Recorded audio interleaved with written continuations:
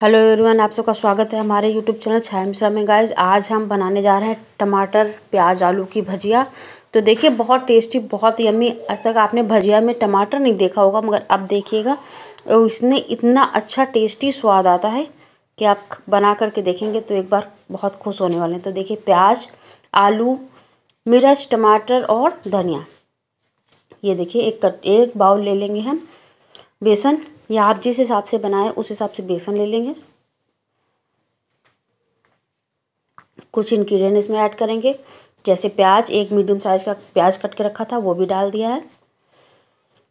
मिर्च, एक स्पून हरी।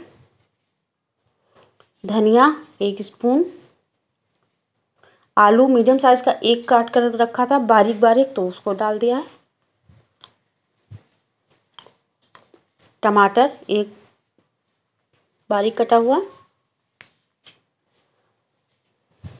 इससे गाइस टमाटर वगैरह का टेस्ट बहुत टेंगी आता है तो ये फ्लेवरफुल मसाले, कुछ हल्दी पाउडर कलर के लिए, मिर्च स्वाद के अनुसार, धनिया पाउडर हाफ़ टेबल स्पून चटपटा स्वाद देने के लिए चाट मसाला, और ये हींग दो से तीन पिंच, नमक स्वाद के अनुसार। इसको मिक्स करेंगे। अब इसमें हम पानी वगैरह नहीं ऐड करेंगे, क्योंकि टमाटर और प्याज डाला है और आलू भी है तो इसमें हमने नमक भी डाला है तो वो पानी छोड़ेगा। तो ये देखिए, अब हम डालेंगे पानी। तो ये पानी आपको गंदा लग रहा हो मगर गंदा नहीं है, क्योंकि वही प्याज वाली कटोरी में हमने कर लिया है पानी, इसलिए आपको ऐसा दिख रहा है तो यही डालते हुए हम बना लेंगे। जैसे हम भजिया का बैटर बनाते हैं, बस उसी तरह से हम बनाएँगे। बहुत ज़्यादा गीला नहीं, बहुत ज़्यादा ड्राई नहीं।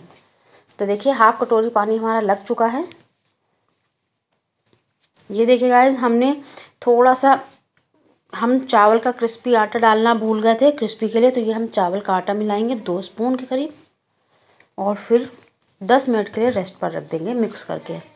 तो देखिए, दस मिनट हो चुके हैं और अब इसमें मेन इंग्रेडिएंट ऐड करेंगे। वो है हॉट हॉट ऑयल जो कि दो स्पून डालेंगे।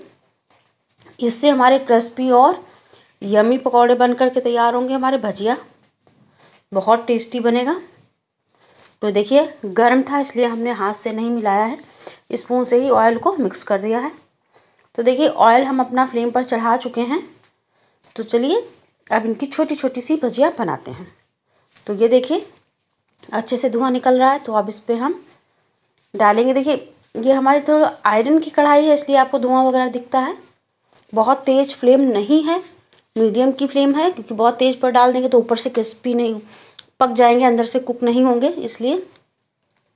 तो ये देखिए धीमी धीमी फ्लेम पर हमें इसे सेकना है, ताकि ये क्रिस्पी और यमी बने। देखिए, अभी तक आपने भजिया में टमाटर वगैरह नहीं देखा होगा डालते हुए, मगर ये टमाटर डालने से ना इसका बहुत टेस्टी स्वाद आता है। तो ये देखिए, इस तरह से सारे कुक कर लेंगे। ये हमारे कुक हो चुके हैं। तो इसी तरह से हम अपने सारे के सारे पकौड़े बना करके तैयार कर लेंगे। देखिए, आप इसे चाहें तो टिश्यू पेपर पर निकाल कर रख सकते हैं या ऐसे ही सर्व करें। तो चलिए, इसी तरह से सारे बना लेते हैं। ये देखिए गाइस, सारे के सारे पकौड़े हमारे लगभग रेडी हो चुके हैं तो ये सर्व करते हैं। ये देखिए गाइस, हमने हरी मिर्च और तीखी चटनी के साथ सर्व किया है। आप जिस भी चटनी को पसंद करते हैं, उसके साथ सर्व कर सकते हैं। बहुत यमी बहुत टेस्टी लगते हैं। चाय के साथ बहुत अच्छे जाते हैं। तो अगर हमारी ये रेसिपी पसंद आई हो तो लाइक, सब्सक्राइब एंड शेयर।